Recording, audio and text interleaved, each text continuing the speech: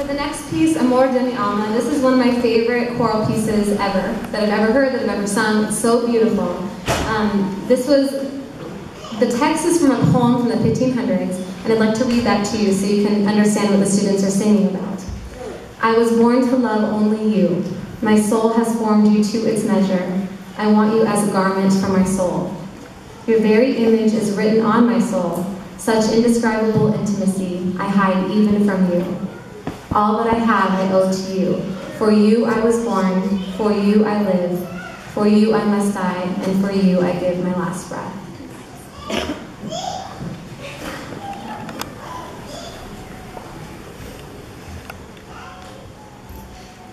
Thank you.